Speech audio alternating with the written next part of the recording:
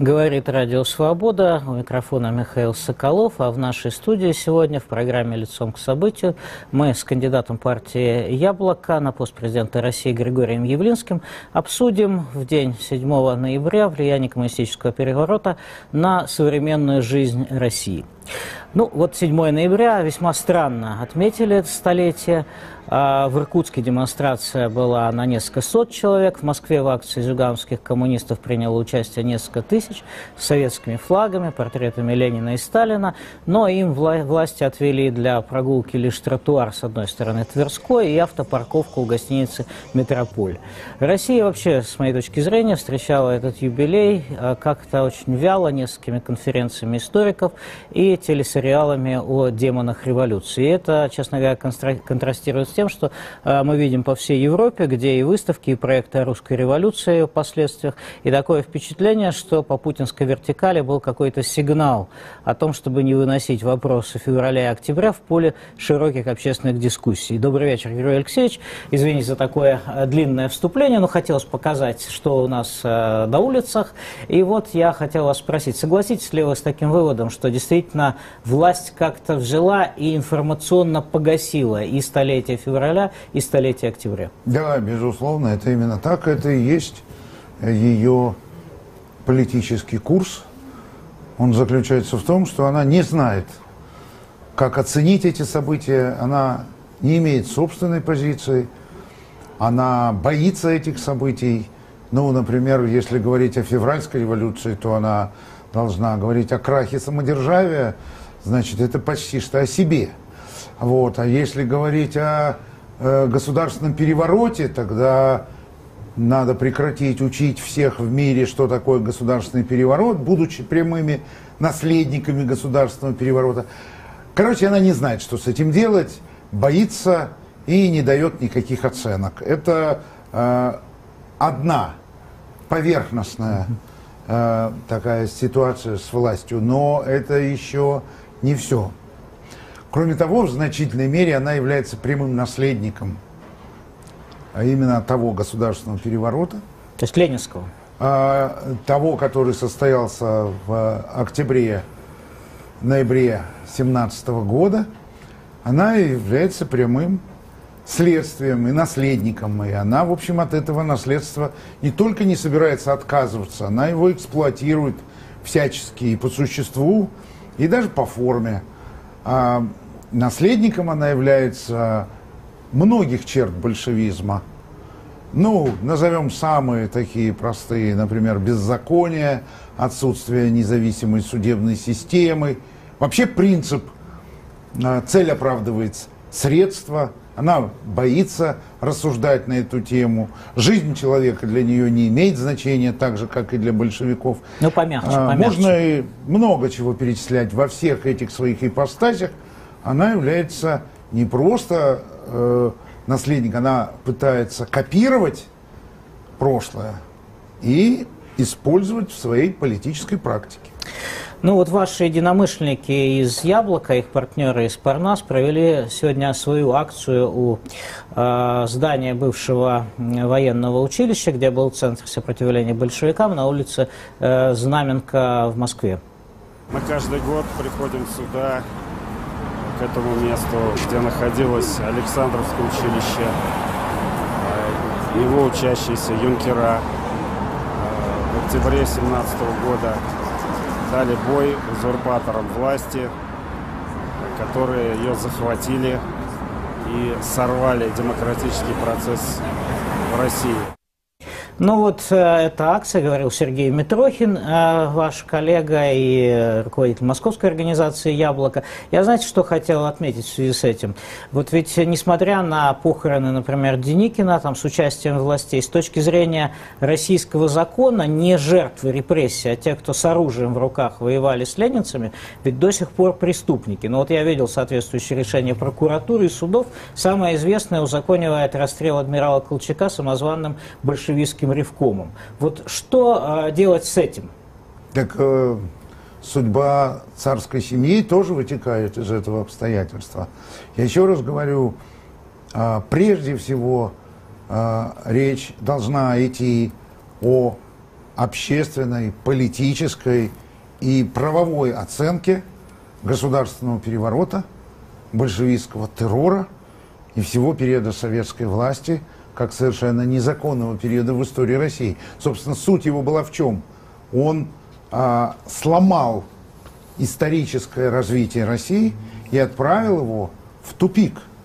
И я э, во всех смыслах поддерживаю Сергея Митрохина как человека очень смелого и честного, который всегда, не только в юбилейный год, но он много лет а, борется против проявлений вот этого террористического начала и, в частности, выходит в память о юнкерах, которые защищали российскую государственность. Они же выступали против государственного переворота и защищали российскую государственность. А власть тех, кто осуществил этот государственный переворот, она сохраняется по сегодняшний день.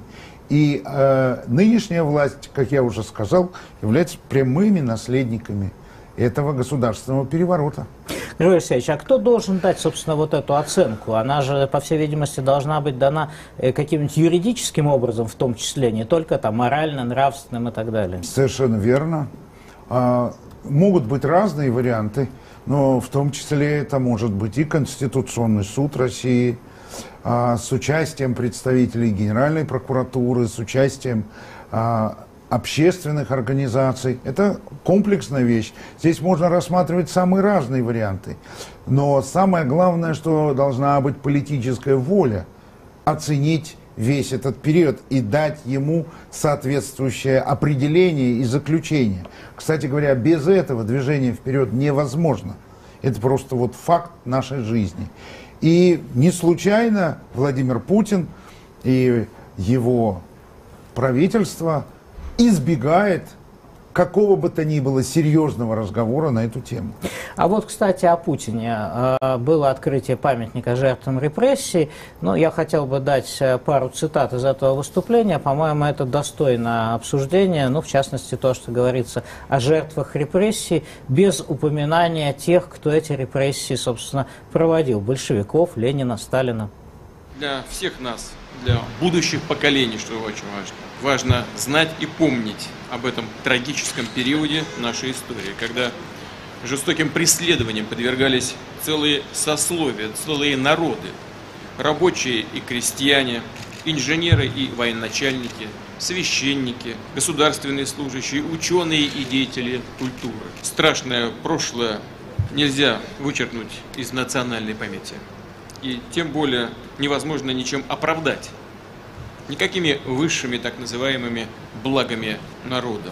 Я хотел бы попросить разрешения у Натальи Дмитриевны Солженицыной. Я хотел бы процитировать ее слова. «Знать, помнить, осудить и только потом простить». Полностью присоединяюсь к таким словам, к этим словам. Да, нам и нашим потомкам надо помнить о трагедии репрессий о тех причинах, которые их породили. Но это не значит призывать к сведению счетов. Нельзя снова подталкивать общество к опасной черте противостояния.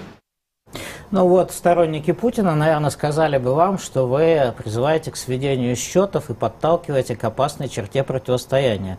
Вы же не говорите, что надо всем слиться в едином экстазе и простить. Вот это слово «простить» я не очень понимаю, кому оно обращено, кого да. должны простить. Я тут должен сказать, во-первых, что репрессии, о которых говорит Путин, это прямое следствие того государственного переворота, который состоялся в ноябре-октябре 1917 э, года. Это прямое логическое, политическое следствие того террора, который развернули большевики. И, судя по всему, судя по нашей истории, оно было неизбежным. Что тогда сделали большевики? Они развязали гражданскую войну. Гражданскую войну они развязали как горячую войну, затем э, в виде террора, и она продолжается на сегодняшний день в виде холодной гражданской войны. Она так и сохраняется. Но Путин еще сказал одну фразу или слово, он сказал осудить, ну так, как говорится, ну и что? Где же это осуждение? Какое осуждение? О каком примирении без оценки и без осуждения можно говорить? Примирение без осуждения – это потворствование преступлению. И это говорит о предпосылках к повторению этого преступления. Вот все, что я могу сказать на эту тему. Э, Путин привык говорить одни про одни и те же события разные слова. Вот это такой пример, когда в этот момент говорят такие слова через одну минуту, другие в другом месте, третьи. Ну, это политический постмодерн. Вот он лидер такого политического постмодерна. А, но это ведет к тупикам в развитии страны. Это ведет к тому, что страна оказывается лишенной перспективы, потому что не оценив все, что произошло, не дав соответствующие оценки, не найдя нужные решения в этой части, невозможно двигаться вперед. И ни одна проблема России не будет решена, пока Россия открыто, честно и мужественно не оценит свое прошлое. Но она не делает этого, так потому может, что нынешнее хотят? руководство является частью этой большевистской группы только в новом виде, в том виде, в котором это свойственно современнию нашему времени. Григорий Алексеевич, скажите, пожалуйста, а вот э, в каком смысле все-таки связана нынешняя власть с тем классом, который правил почти 70 лет, о нем вы тоже пишете, а с номенклатурой коммунистической партии? Ну вот я тут видел, что господин Долгих, бывший член или кандидат в члены Политбюро, он э, присутствует теперь в политической жизни в качестве члена Совета Федерации и вместе с Собяниным там был на параде значит, по случаю очередной годовщины парада 41 года. Но это такое единственное яркое, может быть, исключение. А вот все остальные... Дело не в персонах, и дело не в фамилиях, э, а дело в том, какая политическая практика продолжается, как э, осуществляется, э, в какой форме осуществляется руководство страной, как принимается решение, какие принимаются решения. Вот, собственно, в чем дело. Вот объем лжи, например. Объем официальной государственной лжи. Но он же примерно такой же, который был и сразу после государственного переворота. Ведь э, большевики понимали, что их власть не может иметь легитимности, потому что они всех обманули. И лишившись возможности э, легитимизировать собственную власть, они сделали что? Они непрерывно лгали. Вот они лгали, и эта ложь продолжается э, в огромных масштабах и по сегодняшний день. А все остальные признаки отбора кандидатов на высокие посты, назначения. Это та же самая система номенклатуры. Только она сейчас исключительно персонифицирована, упрощена и даже примитивизирована по сравнению с позднесоветским периодом. Точно так же, как и реабилитация Сталина в самых разных формах. Но вот все эти события, они просто подчеркивают о том, что на сегодняшний день можно констатировать, что период постсоветской модернизации, он завершился провалом. И все нужно будет начинать сначала, когда придет к этому время. Вот хороший вопрос. А когда придет к этому время? Вы, так сказать, рассчитываете на какую-то дистанцию, связанную с этими выборами 2018 года президентскими? Или это все-таки подальше будет? Я думаю, что эти выборы будут, могут стать частью этого процесса. Насколько это будет решающая часть события, покажут.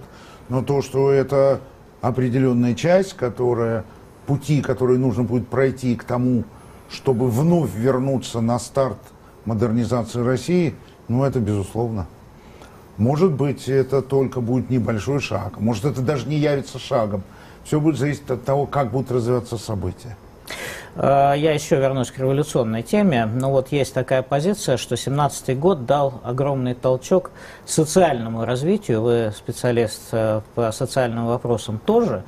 Э, в частности, в западном мире, когда правящие классы стали улучшать социальное положение трудящихся, Ну, а для России в некотором смысле исполнились пророческие слова Чадаева о том, что она должна дать урок всему миру, но, видимо, что не надо делать, да, а там стали делать, что надо. Как вы к такой позиции относитесь? Ну, я не хочу, чтобы моя страна все время была пугалом. Ну, конечно, когда весь мир увидел, что э, в России уничтожают собственных граждан, причем это происходит в масштабах сотен тысяч людей и миллионов людей, конечно, он испугался, и э, в той части, в которой он мог понять это событие, он пытался принять соответствующие решения, чтобы избежать классовой борьбы в тех формах, в которых она проходила в России. Но я не хочу, чтобы моя страна и мой народ являлся э, примером, как не надо делать, чтобы мы были постоянно каким-то отрицательным образом, э, от чего все в мире э, делали все совсем наоборот. Этого я никому не пожелаю. И я хочу сказать, что большевизм, вот как э, политическое движение, это э, то, что необходимо преодолеть в любом случае. Что же касается социальных вопросов, ну, я простую вещь вам скажу. Вот иногда речь идет об образовании. Но ведь из образования большевики выкинули огромный пласт Гуманитарный, Они, ну, всего, да. Гуманитарный, собственно, пласт, изучающий жизнь. Они выкинули всю историю, всю философию, всю социологию, ну и не только гуманитарную, а экономику. Они просто выбросили все это из сознания людей. Так трудно поэтому. И сегодня так трудно. Нет же даже школы никакой. Оставив только естественно-технические науки и науки пропагандистские, которые науками-то не являются. Вот вам и социальное развитие. Кроме того, Россия ведь так масштабно и не вышла из бедности. Она была в ней. Да, была очень соблазнительная идея, а, с которой большевики совершили этот государственный переворот. Это была идея справедливости. Ну и равенства, наверное, тоже. И равенства. Ну, справедливости и понимание справедливости как равенства. Но это страшная идея в той реализации, когда э, способом установления справедливости и равенства является насилие. Поэтому эта идея стала, ну, самой кровавой из всех мыслимых идей в истории человечества. Насильственное принуждение к справедливости и равенству – это море крови и прямой обратный результат. Прямо обратный. Прямо обратный тому, чего хотят достичь. Ну, не зря в Писании сказано, что рай и справедливость будет после второго пришествия. А все, что делается в этом направлении до этого, это богоборчество на самом деле. Это серьезная, серьезная вещь, очень серьезная. Вот мы получили такой страшный урок. Страшное стремление к справедливости – это одно дело, а установление справедливости оружием, силой, уничтожением и террором – это практика, которую э, человечество должно изжить из своей Э, про своей жизни, иначе это всегда будет связано с трагедиями. И чем больше эта идея, тем больше крови. Ну, нынешний режим, он применяет насилие, я бы сказал так, менее масштабно, точечно. А, может быть, это тоже урок революции для российской элиты, что а, нужно не реки крови, а вот ручейки пускать и пугать людей. Знаете, я на этот счет а, приведу вам такую грустную шутку, как человека везут в морг, он спрашивает, куда вы меня везете? Мы вас везем в морг. Так я же не умер, мы еще и не доехали. Поэтому не надо пока так сильно радоваться. Значит, это только начни. А, только начни. Есть уже, а, по крайней мере, журналистские свидетельства о э, э, внесудебных расстрелах, причем много людей. Десяток. В Чечне вы имеете в виду? В Чечне, в частности. Но это же Российская Федерация. И так и не доказано обратное. Не доказано обратное. Я могу вам сказать и о людях, которые находятся в тюрьмах по политическим причинам. Такие э, есть. Ну, примеры. уже до сотни но, но вообще говоря, э, что очень важно подчеркнуть, а какая может быть перспектива, если страна ведет войну? И даже не одну, а две. Так еще и мало того, что войну еще и ведет кровавую войну с собственным ближайшим соседом, с Украиной. Вот пока эта проблема не будет снята с повестки дня, никакой перспективы нет. И вообще разговаривать о том, что можно решить проблемы пенсий, можно решить проблемы бюджетной обеспеченности, можно поднять экономику. Это все просто слова, не имеющие под собой никакого содержания. Я вот это хочу сказать очень твердо и обратить всех внимание, что Уважаемые дорогие друзья, если вы ждете улучшения жизни, то до тех пор, пока не прекратится война, пока не прекратится бессмысленное э, военное вмешательство в Сирии, пока не будет решена проблема Донбасса, не будет решена проблема Крыма, ни о каких разговоров и никаких э, предпосылок для улучшения жизни в стране нет. Ну, а они вам скажут, э, это же, знаете, плата за наш э, великий подвиг э, присоединения Крыма. Вот весь мир против нас, а мы русских защищаем. Там, это же позиция вот так называемого путинского большинства, что надо пострадать, потерпеть, да, за это, за кризис, да, заплатим, за то территория увеличивается. Это Я хорошо. Я уже говорил вам, все это что сейчас одной из черт нынешней власти является то, что очень много говорится того, что не соответствует действительности. Все, что вы сейчас мне процитировали, э, это все не соответствует действительности. Э, и независимо от того, кому-то нравится это или не нравится, но фактом является то, что без решения этих проблем ни экономические, ни социальные проблемы страны решены никогда не будут. Вот. Без нормализации отношений с миром. Потому что одно вытекает из другого. Если решать прекратить войну, значит, дальше из этого нужно, опираясь на это, предпринимать активные действия по нормализации отношений с миром. Не может Россия жить в изоляции. Не может российская экономика развиваться в изоляции. Это просто невозможно в принципе. Дальше нужно будет решать вопросы и э, судебной системы, и правовой системы, и частной собственности, и экономики в целом, но только именно в такой последовательности. Напомню, что Григорий Явлинский у нас в студии «Радио Свобода». Григорий Алексеевич, вот э, хорошо.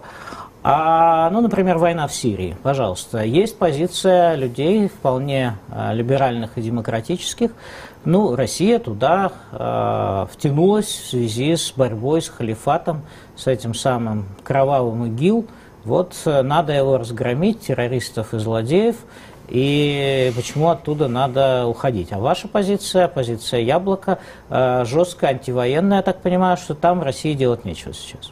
Нет, просто не надо России участвовать в гражданской войне в другой стране и защищать диктатора, который правит много десятков лет в этой стране, участвовать в э, сугубо внутреннем мусульманском конфликте, э, не надо в это лезть. Это очень далеко от национальных интересов России. А как же кровавые Второе, злодеи? Что, а? Второе, что касается того, что рассказывают про ИГИЛ, то опять же это не вполне соответствует действительности. Э, победных реляций очень много, разговоров очень много. А, но на самом деле, когда а, вы анализируете, что же именно говорится, то говорится одна такая абсолютно неприемлемая вещь, что мы там испытываем оружие. Мы там чуть ли не маневры проводим. Мы убиваем там людей, это ли способ испытывания оружия? А, мы убиваем там гражданское население. Это случается потому, что идет война. Вот э, такой способ заставить с нами разговаривать весь мир, э, это э, способ, э, за который, о котором я бы хотел сказать так. За силу уважают, а за насилие ненавидят. Э, расплата за такую политику впереди. она еще даже не наступила. Это была грубая ошибка лезть в чужую гражданскую войну. Это вопрос не просто антивоенный. Хорошо, зачем это нужно было Путину?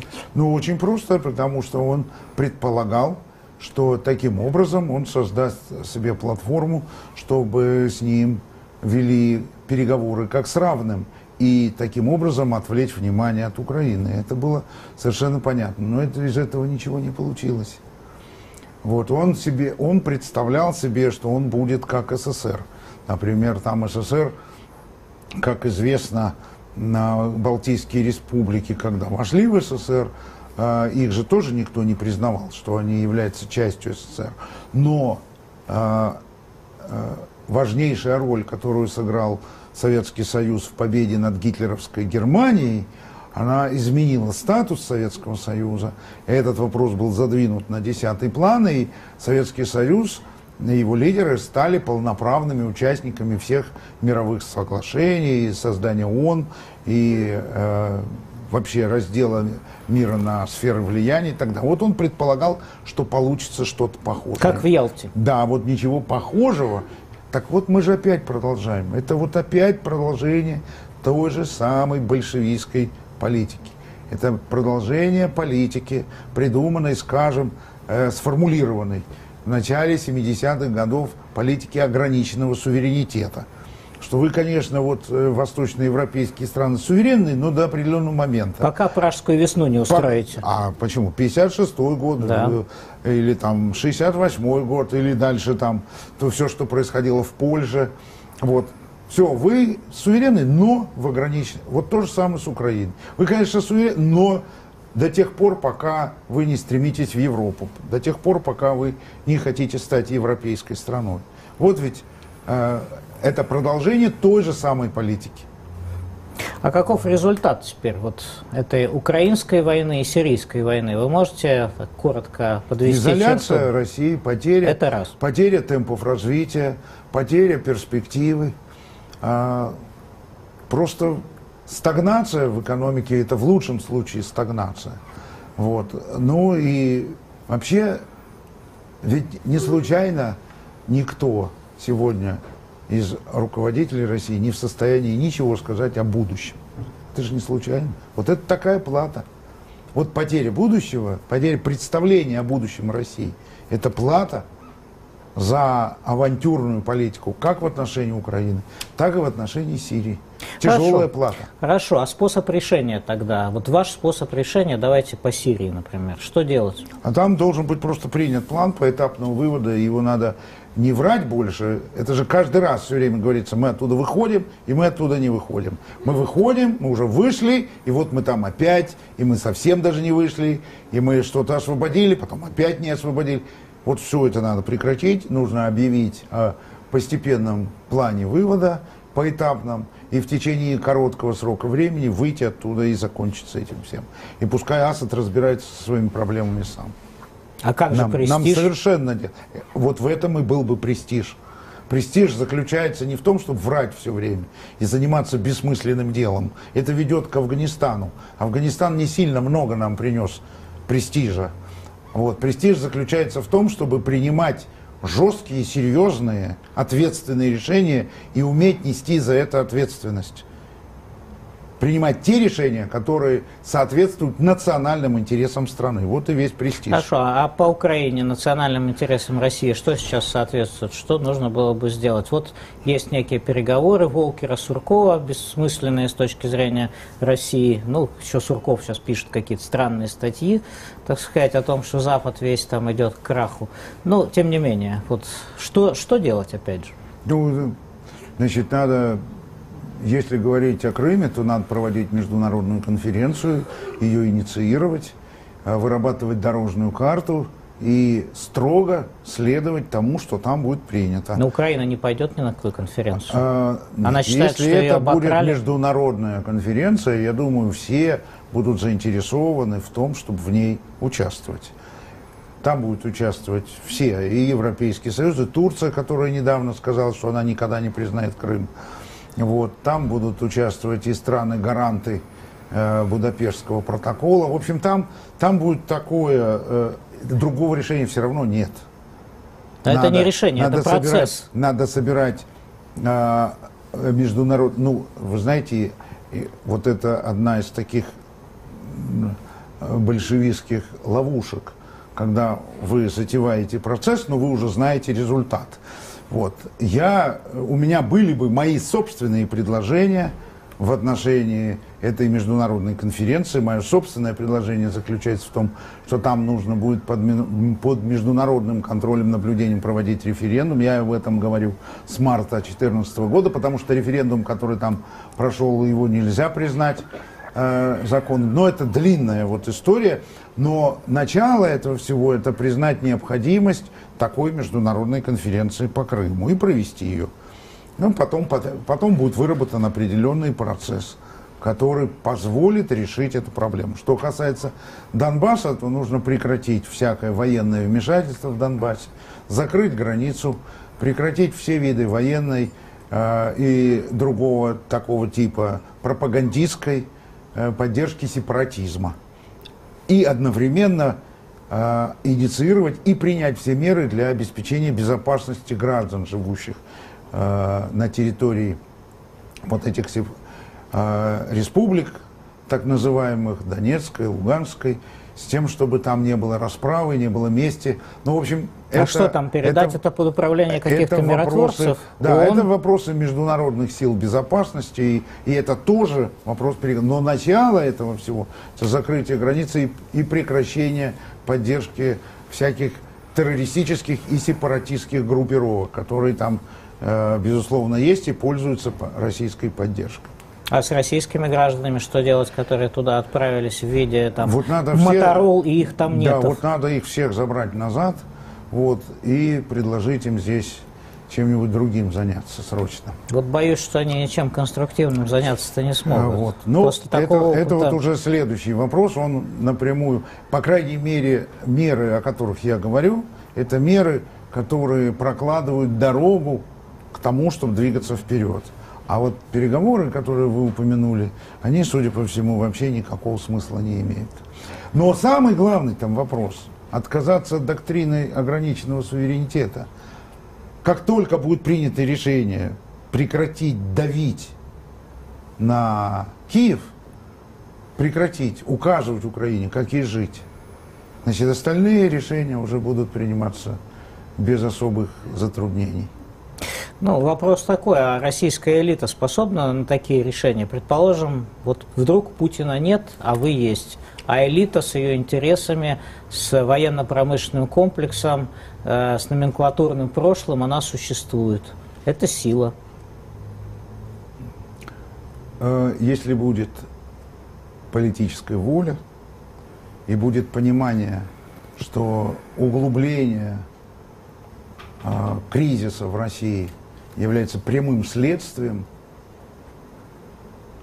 вот всех этих событий и безобразий, шаг за шагом, жестко, твердо, без всяких отступлений от этой линии. Эту политику надо реализовывать. Вот, собственно, все.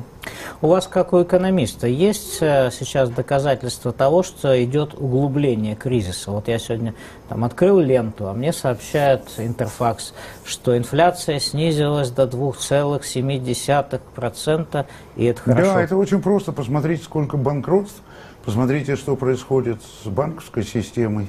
А что происходит вот с банковской системой? В банковской системе происходит большой, глубокий, серьезный кризис. Вот банки находятся... Траст, открытие, да, да вот это вот, все. Да, я имею в виду и эти, и другие банки.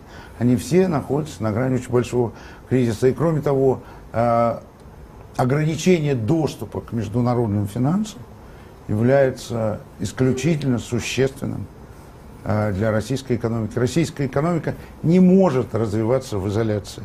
Она не может развиваться. И, кстати, должен сказать вам, что проведение политики, которая сделала Россию объектом применения санкций всех форм и винов, это политика, за которую еще внуки будут рассчитываться. Вы имеете в виду отставание внуки, технологическое? Внуки будут рассчитываться и в части технологического отставания, и в части э, экономической стагнации, и в части того, что Россия будет постепенно выводиться даже с периферии мировой э, современной экономической системы на самые дальние рубежи. Вот, я думаю, что политика, которая привела к такому развитию событий, она просто не имеет никаких э, извинений. Ее ни, никак невозможно оправдывать. Никаких оправданий у этой политики нет. Никто не имеет права огромную страну, огромный народ делать мишенью для санкций со стороны всех остальных стран вокруг. Это просто абсолютно недопустимая политика. Независимо ни от чего. Но опять это продолжение значит, большевизма, как большевики же завели Россию в такое автаркическое изолированное положение, по крайней мере, до конца сталинского периода. В общем, жестко держали ее вне мировой экономики. Ну, это безусловно. Ну, это безусловно. Так я же говорю, они, нынешние правители, они являются прямыми продолжателями того же самого дела. И э, повторять это нужно только лишь для того, чтобы понимать, какой строй и какое наследие большевизма необходимо преодолеть.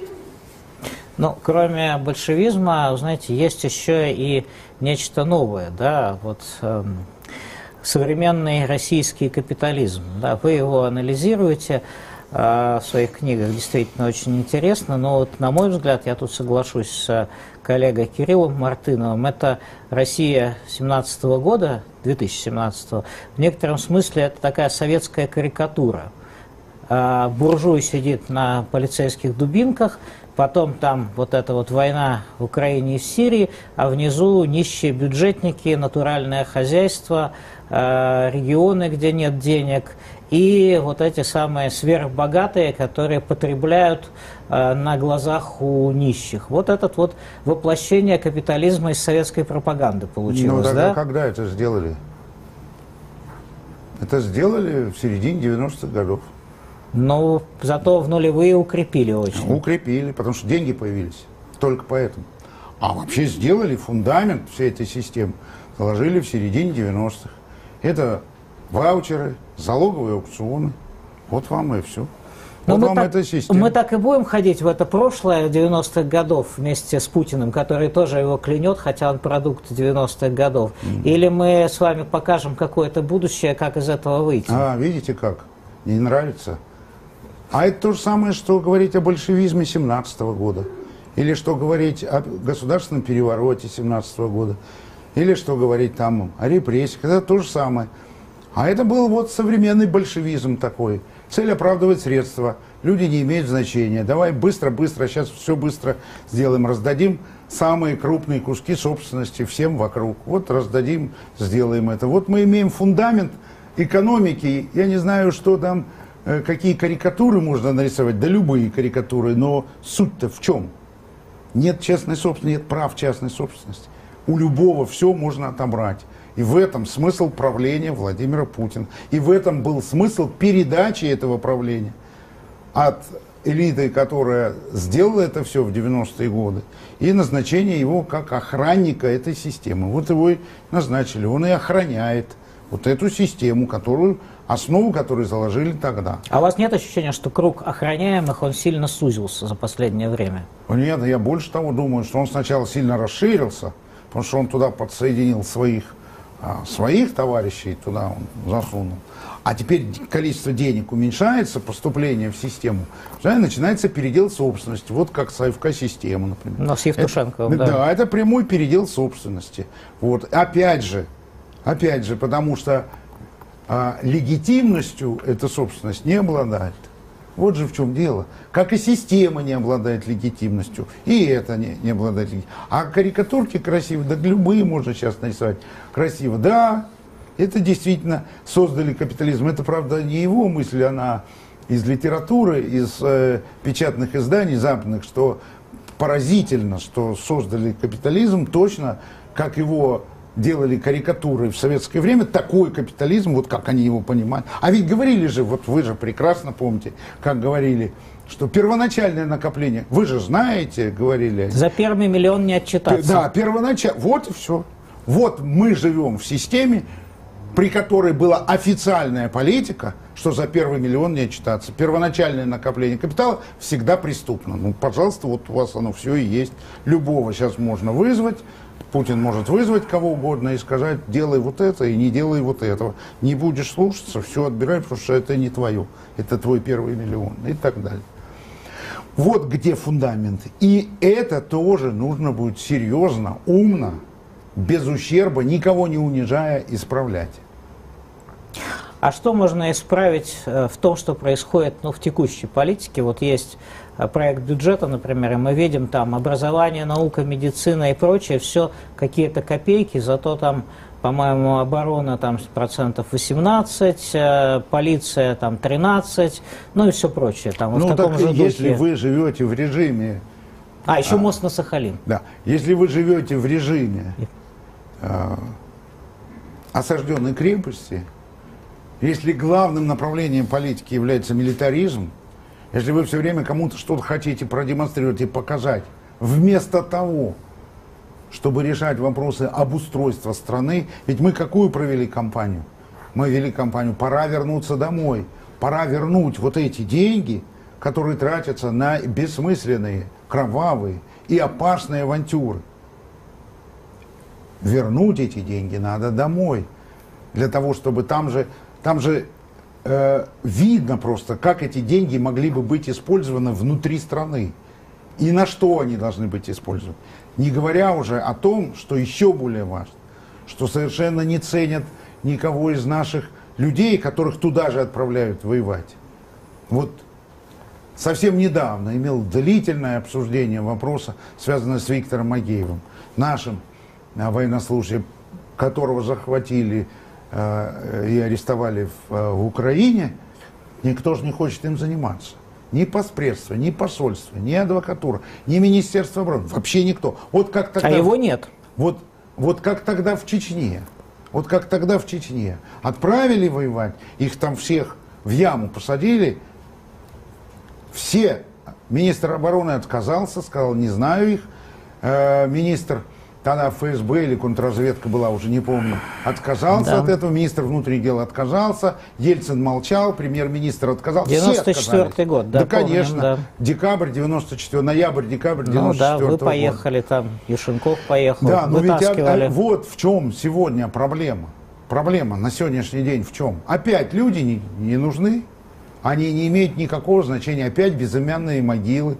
Опять людей там убивают. Никто точно не знает количество жертв ни в Сирии, ни в Украине. В Украине это вообще меряется десятками тысяч людей. Никто точно не знает, сколько людей там погибло. А если э, арестовывают или захватывают в плен, как хотите, можете это квалифицировать, никто их не выручает, никто их не защищает. Вы же их сами туда отправили. Вы же сами заставили их туда ехать. Вы же их купили и отправили туда там в 25 лет, не знаю, как они соображают, но вы же несете за них ответственность. Ну что ж вы даже... Там консул дал свой телефон, оказалось, что это телефон факса. Вот какой цинизм. Вот это и есть большевизм. Когда жизнь людей не играет никакой роли и не имеет никакого значения. Да, в некотором смысле это повторение того, что делалось советской властью, там во всяких это разных локальных войнах. Это продолжение, это все то же самое, это вся та же самая политическая практика. Проблема в том, что общество это терпит и войну не воспринимает как серьезную угрозу себе. Вот как это разъяснить? Там а вот мне, пишут, уже... мне пишут, говорят, когда Григорий Алексеевич создаст какой-нибудь центр, который сможет достучаться до каждого честного, умного, порядочного, талантливого человека в России? Да, центр такой есть. Нет средств доставки этой информации, потому что это тоже большевистская практика полностью монополизированы все э, источники, политически значимые источники информации. Полностью монополизированы все средства массовой информации. Они все превратились в пропаганду. Они не являются больше средствами массовой информации, они являются средствами массовой пропаганды. Все они так сейчас работают. Поэтому никакого другого способа здесь не существует. Ну, то есть интернет и немного прессы. Интернет тоже отчасти. И некоторые издания, ну, как там, например, «Новая газета», вот, но их очень-очень мало, и возможности их весьма ограничены. Это признаки такой современной, гибридной, хотите, скажем, авторитарной, но можно уже сказать гибридной, гибридной, современной, тоталитарной системы. А как же, когда когда все выстроено в одном направлении. И с помощью этой пропаганды можно говорить все, что угодно. Скажите, а как вы восприняли появление Ксении Собчак на политическом поле в качестве кандидата в президенты? Это сильный для вас конкурент? Да нет, ну пускай будет. Пускай все, кто угодно. Вот вы же, э, смотрите, мы ведем передачу, и у нас на экране все время... Разные люди. Да не разные люди. Вы пропагандистский орган, вы выбрали себе людей, занимаетесь их пропагандой. Но ну, это ваше. Мы, дело. мы вас ну, показываем. Да что вы говорите? Я да, как-то ну... не замечал. Вот, ну это не важно. Это не важно. Я не понимаю, к чему вы это делаете. Ну, делайте, делайте. Как соображаете, так и делайте. Не в этом вопрос. Нормально воспринял. Там еще другие девушки выдвинулись. Там их целая группа. Еще будут выдвигаться. Прекрасно. Пускай выдвигаются. Чем больше, пускай. Пускай все участвуют. А вот Михаил Михайлович Касьянов э, сделал заявление от партии Парнас, есть такая партия, что надо всем хорошим кандидатам, прогрессивным и демократичным, и вам, и Собчак, и Навальному какую-то коалицию такую создать, ну, хоть чтобы просто не собачиться попусту в этих телеэфирах. Мы не собираемся. Ничего. А чего, собственно, что? Там один кандидат говорит, у меня нет программы, чего с ним собачиться, пускай будет. Это вы о ком? Ну, о ком-то из них я точно не помню. Так. Да. Нет программы, ну и молодец, что нет программы. Сказал что-то правильное, молодец тоже. Вот все. Михаил Михайлович пусть создаст ко коалицию, все что хочет. Он обычно создает коалиции там с кем, с Мальцевым. У него обычно такие коалиции эффективные. Ну, то есть вы как такой кандидат-одиночка от своей партии и вам скажут, вот они, недоговороспособные, это тоже наследие большевизма. Это не я придумал, это мне в Facebook написали. Да. Ну, тут уже что же я могу сказать? Значит, здесь, когда э, я уже приводил этот пример, могу вам еще раз повторить. Вот как вы себе представляете, на стадионе бегут 100-метровку, там 10, 10 людей, 10 спортсменов. Они как должны договариваться? По, по ходу, Чтобы правила соблюдать. По ходу бега. Они между собой должны соблюдать правила. Вот. Они договариваются. А в России не соблюдают правила. Ну, ну хорошо, ладно, Миша.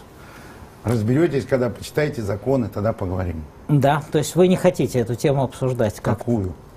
Тему сотрудничества разных политических сил. Все. Все, я вот вам говорю официально в эфире. Я сотрудничаю со всем российским народом, со всеми кандидатами, со всеми дамами кандидатами, с мужчинами кандидатами, с детьми кандидатами, со, со старшим поколением, с младшим поколением. Я со всеми сотрудничаю. Я открыт ко всем видам сотрудничества со всеми. Всегда. Я с вами сотрудничаю, я со всеми остальными тоже сотрудничаю. Я только вот что хочу сказать. Войну надо прекращать. Вот это вот главный тезис мой относительно сотрудничества. Надо прекращать войну, надо беречь людей, не давать возможности властям отправлять людей на смерть, надо деньги направить на развитие нашей собственной страны, надо прекратить пропаганду ненависти к нашим ближайшим соседям, надо решить проблемы повышения жизненного уровня, что можно сделать в том случае, если изменить бюджетную структуру расходования бюджетных расходов и сделать прозрачным, делать ясным, не делать огромное количество секретных статей. И все, вот, вот с коррупцией что-нибудь вот еще хорошо все, бы сделать. Все нужно сделать. Как-то ее так умять, коррупцию. В этих условиях никак нельзя умять никакую коррупцию. Нужно решить вопросы с судами, с законами, с частной собственностью, фундаментально решить эти задачи, тогда будет уменьшаться и объем коррупции. Но это точно не 500 дней, Григорий Алексеевич. Вы знаете, я должен вас удивить, 500 дней это полтора года. Значит, я вот хочу вам это вопрос сказать, там был. Можно что если нельзя? ничего не изменится, вы посмотрите, что будет со страной через полтора года. Вы посмотрите, что начнет происходить в стране после чемпионата мира по футболу. То есть, когда маски все будут сброшены? Вот когда все маски будут сброшены. Поэтому сколько угодно можно говорить, что 500 дней это полтора года и мало что можно сделать. Я вам хочу сказать, что в негативном смысле можно сделать столько, что уж точно мало не покажется. Поэтому давайте эти 500 дней или полтора года делать то, что нужно делать. Вот то, что нужно делать, то, что соответствует национальным интересам страны. И по каждому вопросу можно все шаги промерить. Первый, второй, третий, четвертый, пятый. Можно промерить шаги, как сделать так, чтобы жизнь человека была дороже всего. Чтобы у людей были права. Чтобы у людей была собственность. По каждому из этих вопросов можно сделать очень многое. И все знают, что. Сегодня это не делается только потому, что это все, что я назвал, ведет к сменяемости власти. Как только у людей появятся права, как только э, приоритетом государственной политики будет жизнь людей, из этого вытекает сменяемость власти, регулярная сменяемость власти. Вот в чем, вообще говоря, главное. Вот чего не хочет нынешняя власть. Вот почему она не хочет говорить ни про Октябрьский переворот, э, государственный переворот, не хочет говорить про оценку большевизма, про настоящую оценку террора, потому что все это немедленно приведет к сменяемости власти. Она не хочет говорить, как я говорил в самом начале, и о февральской революции, потому что февральская революция – это демонстрация краха самодержавия. Ну вот к революции. И самовластия. Мы с нее начали, мы и будем завершать. Мы народ спросили, что он-то думает, было ли там какое-то благо? Был ли октябрь 17 года благом для нынешней России? Я считаю, что октябрь был величайшим трагедией величайшей нашего, нашей России.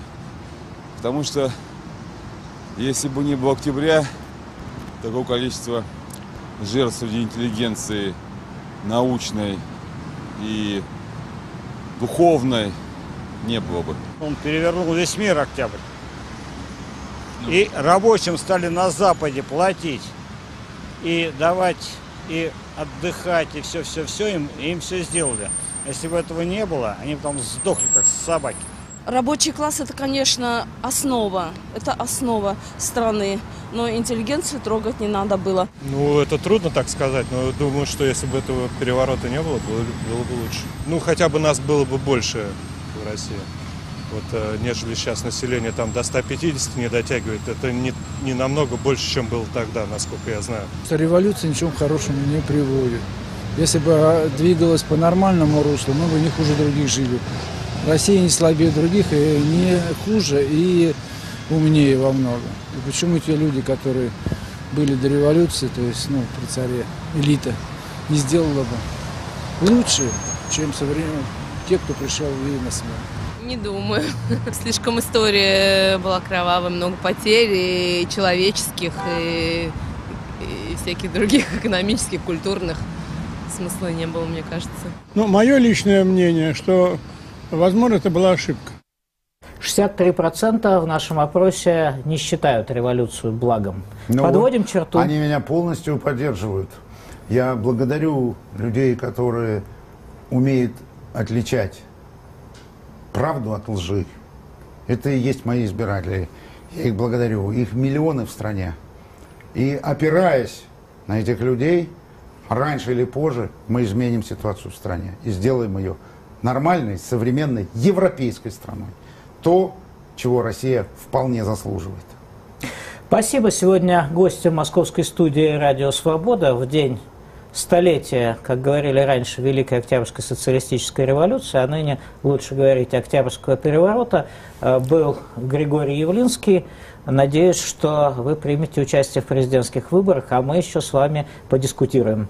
Всего доброго, вел передачу Спасибо. Михаил Соколов. Всего доброго. До свидания.